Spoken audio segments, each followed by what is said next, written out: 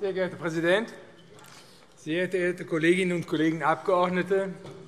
Nach diesem Lehrstück in Demokratie muss ich Ihnen sagen, ich habe schon erlebt, dass wir 40 Milliarden Haushalte einfach durchgewunken haben, aber hier geht es um wichtigere Sachen. Herr Kollege Abg. Kaufmann, Sie haben sich ja auch bei dem trockenen Thema des Haushalts an der Frage des Frauenbildes in der AfD abgearbeitet. Ich kann Ihnen nur raten, einmal unsere Alice Weidel, Johanna Cotard oder Marianne Harder-Küdel zu treffen. Sie würden Ihr Bild sofort revidieren. Von uns wird heute eine Stellungnahme, sogar eine Zustimmung verlangt zu drei großen Themen. Da wir dazu eigene Ideen entwickelt haben, werden wir den Vorlagen nicht zustimmen können. Bei allem Respekt vor der Diskussion hier im Landtag müssen wir anerkennen, dass eine von der Regierung vollkommen unabhängige, von ihr nicht zu beeinflussende Entwicklung viel entscheidender wird für unsere Zukunft als die Diskussion über die Verteilung der Mittel zwischen den Kommunen, Land und Bund. Wir haben es ja eben erlebt, wie wichtig die Frage der Impfungen ist.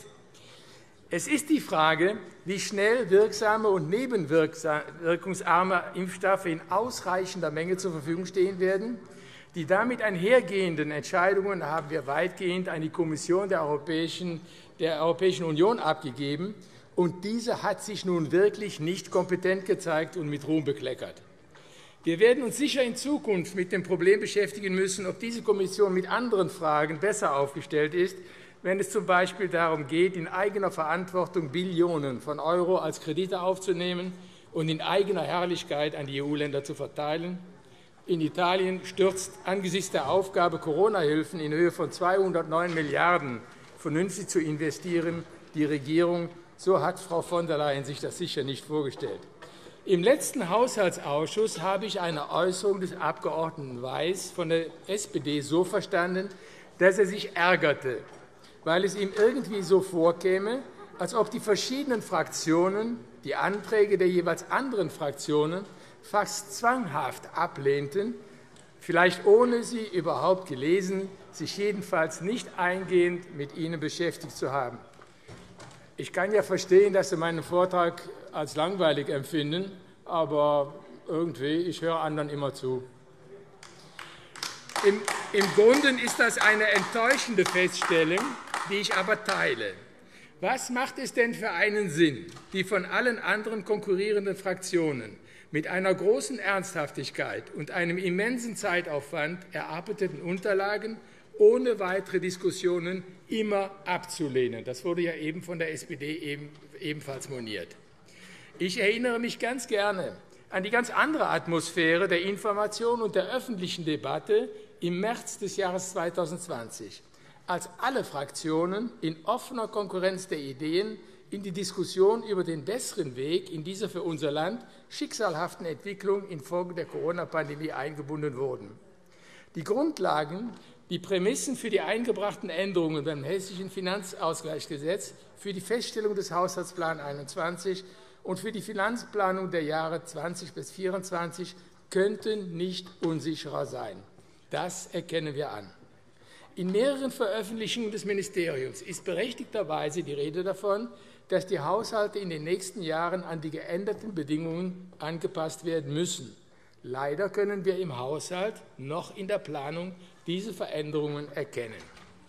Nach Darstellung der Bundesregierung zur Wirksamkeit und Verträglichkeit der nun doch überraschend schnell und in ausreichender Menge zur Verfügung stehenden Impfstoffe müssen wir von der Überlegung ausgehen, dass es zu einer Normalisierung der Situation spätestens im Herbst 2021 kommen wird damit ist auch die Planung für das Sondervermögen bis ins Jahr 2023 zur Kompensation der pandemiebedingten Ausgaben zu aktualisieren. Unter diesen Umständen sind wir überzeugt, dass unser Konzept der Haushaltsgestaltung und Planung ohne die Einbeziehung eines Sondervermögens realistisch war und ist.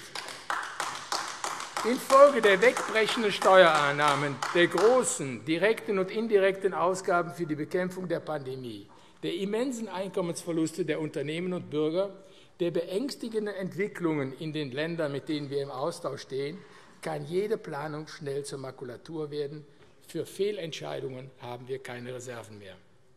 Bei den drei hier zur Diskussion stehenden Vorlagen sehen wir eine beunruhigende gemeinsame Tendenz.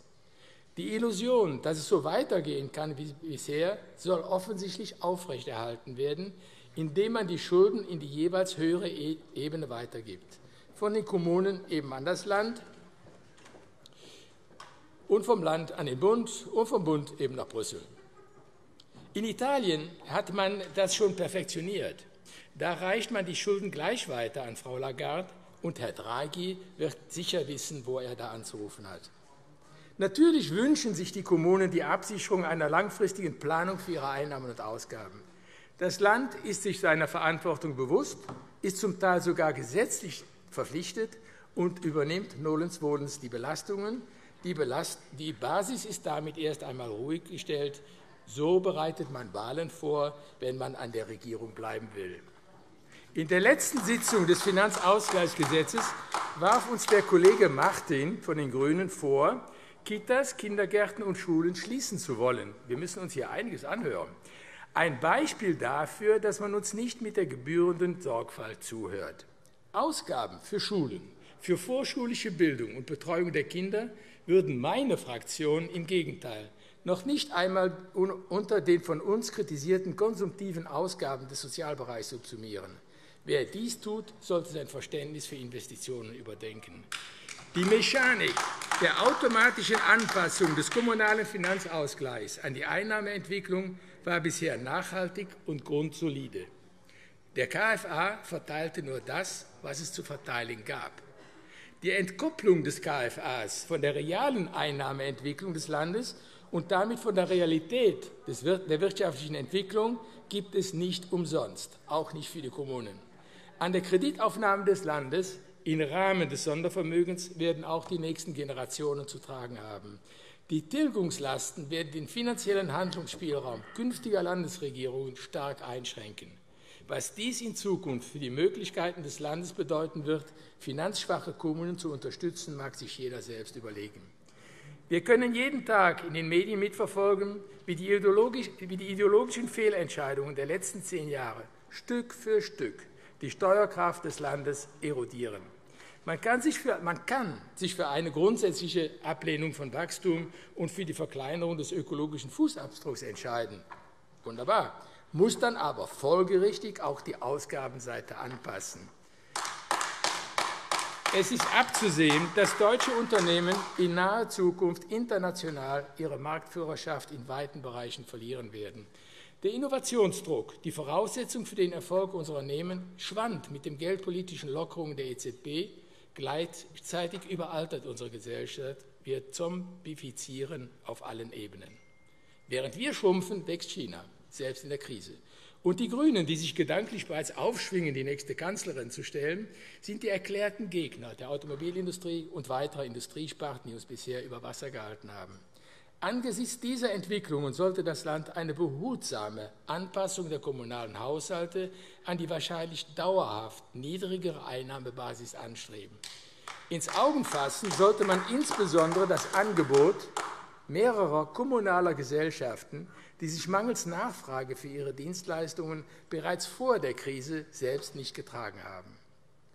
Wenn man sich aber schon dafür entscheidet, das System der KFAs umzustellen, so hätten wir uns gewünscht, dass die Schlüsselzuweisungen innerhalb der gesamten Finanzausgleichsmasse künftig einen weitaus größeren Anteil einnehmen.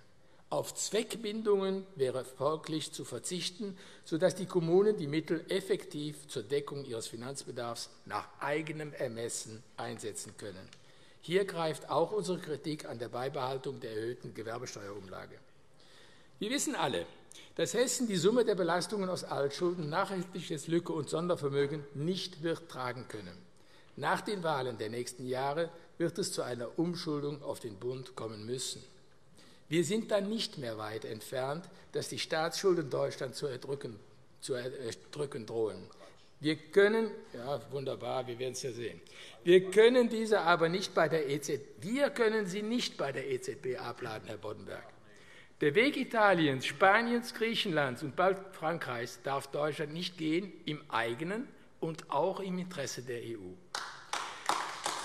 Wenn man ein Beispiel beileibe kein Vorbild sucht, dann sollte man sich die Entwicklung von Japan vor Augen halten.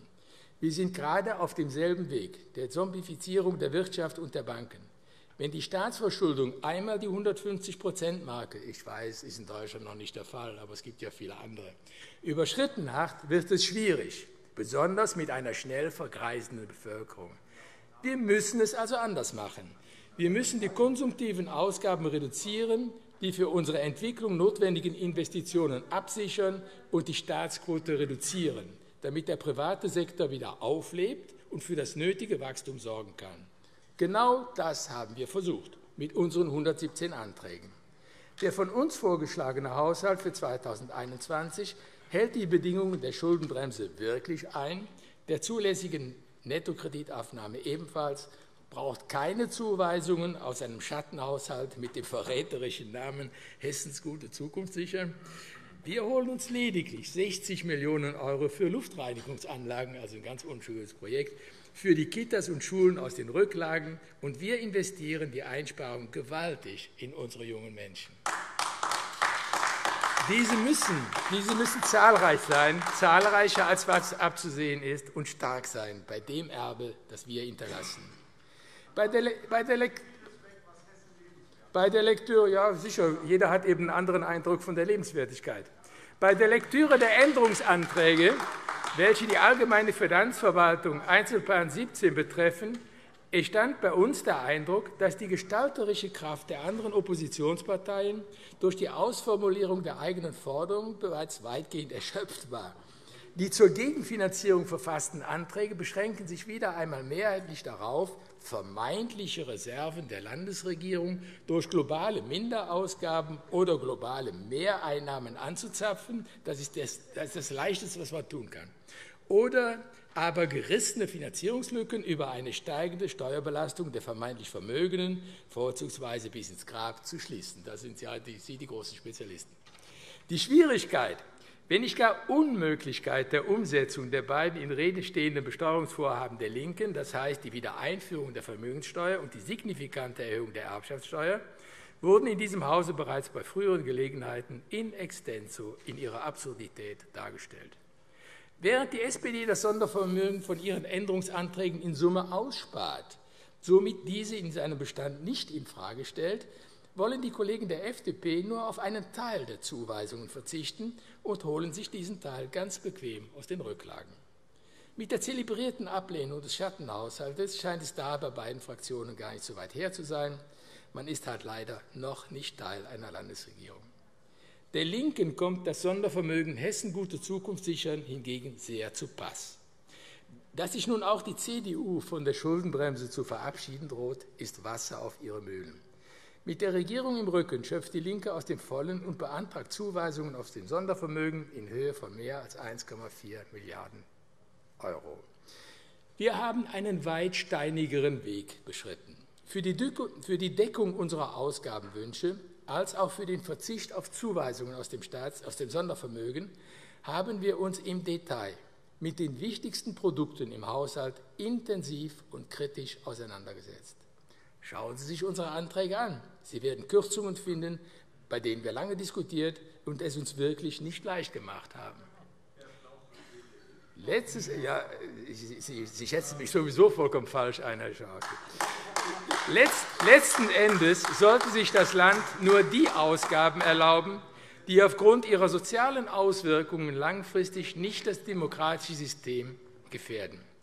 Da unsere Kanzlerin auf Zeit, Frau Merkel, doch sehr zuversichtlich verkündet, dass bis Sommer 2021 jeder Deutsche, der sich impfen lassen möchte, geimpft werden kann, erwarten wir mit Spannung von unserem Finanzminister das Potenzial der Einsparungen bei den Ausgaben aus dem Sondervermögen von 12 Milliarden.